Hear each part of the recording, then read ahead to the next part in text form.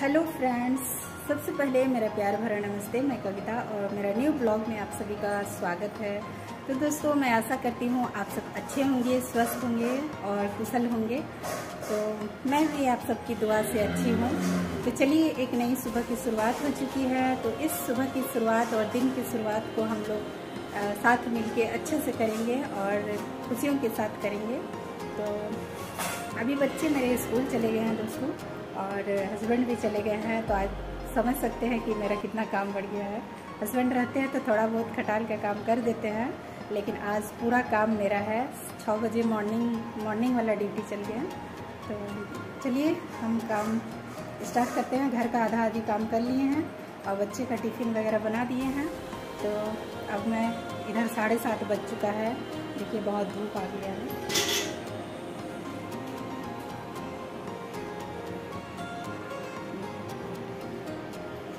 Late हो जाता है धोने में। तो अभी हम, देखिए, गोबर सारा वो बिखरा हुआ है खटाल में।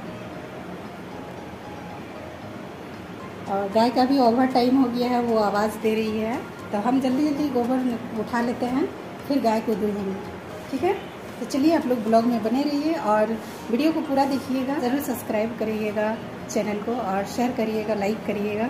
आप सबकी आशा रहती है कि आप लोग कमेंट करिएगा। तो चलिए फिर वीडियो को हम स्टार्ट करते हैं। आप लोग वीडियो पूरा देखिएगा।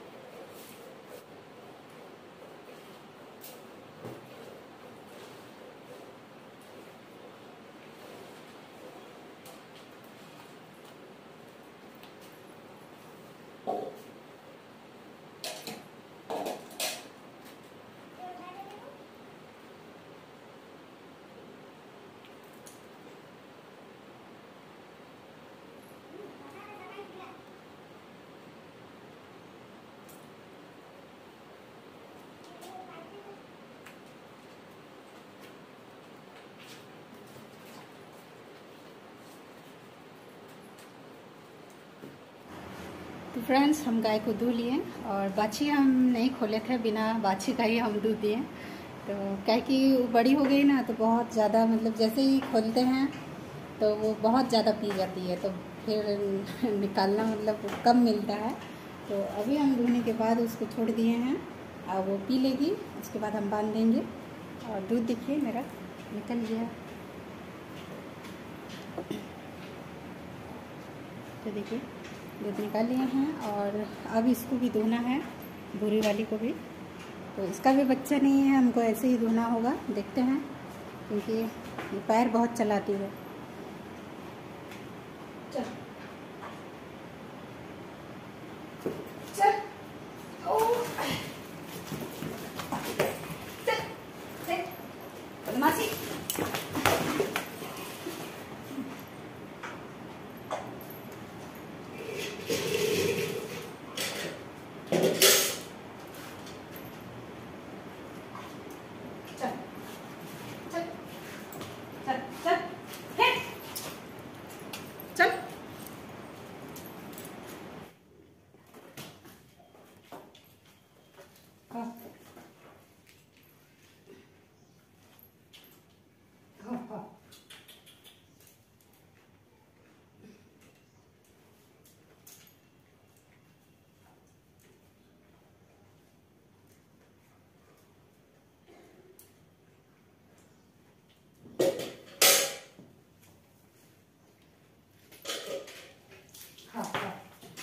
行，好。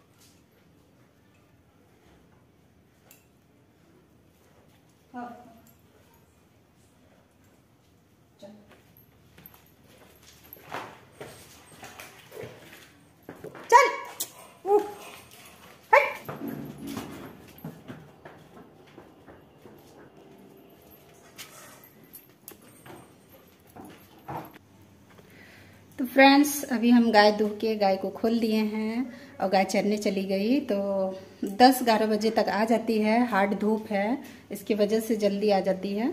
तो अभी हम खटाल को देखिए, धो लिए हैं। घर में तो काम बहुत अभी है, बर्तन नहीं धोए हैं, छत में झाड़ू वगैरह नहीं किए हैं पोछा वगैरह। तो पहले हम सोचे खटाल को धो लेते हैं, क्योंकि सूखेगा, क्योंकि जल्दी आ जाती है गाय, इसलिए हम पहले खटाल को धो दिए और अभी देखिए, इधर धोना बाकी है तो टब में पानी भर रहा है और मेरे हाथ में झाड़ू है, क्योंकि झाड़ू के सहारे ही धोना पड़ता है। पहले जो मेरा पंप था, उसमें प्रेशर में पानी आता था, सायरा में पंप था तो उससे आसानी से मेरा पूरा खटाल धो लेते थे हम, लेकिन अभी बंद खराब हो चुका है, इस वजह से अभी का सहारा लेना पड़ता है। तो दोस्तों, आप सब मेरे चैनल में जुड़े हुए हैं, इसके लिए आप सबको बहुत बहुत धन्यवाद। कोई किसी से आजकल मतलब नहीं रखता है, लेकिन आप सब मेरे से जुड़े हुए हैं और मेरे चैनल को वॉच करते हैं सब्सक्राइब किए हैं। इसके लिए आप सबको बहुत बहुत धन्यवाद। तो मैं बहुत खुश हूँ कि जो होता है शब्दों का मिल मिलाप है, यानी आप सबसे बात करके मुझे जो खुशी होती है और आप सब मेरे बातों को सुनकर जो खुश होते हैं, बस यही हमारा आप सबसे लगाव है। तो मैं बहुत खुश हूँ कि आप सब मेरे वीडियो को वॉच करते हैं और पसंद करते हैं। तो इस तरह से आप सब मेरे बनाइए रखिएगा हम मेरे पे और वीडियो को लाइक ज़रूर कर दीजिएगा और अगर आप मेरे चैनल में नए हैं तो प्लीज़ चैनल को सब्सक्राइब कर लीजिएगा और तो मैं कविता मिलती हूँ नेक्स्ट ब्लॉग में दोस्तों। और तब तक आप अपना ख्याल रखिए हँसते रहिए मुस्कुराते रहिए और अपने परिवार के साथ रहिए खुश रहिए। चलिए दोस्तों फिर मिलते हैं नेक्स्ट ब्लॉग में। बाय दोस्तों।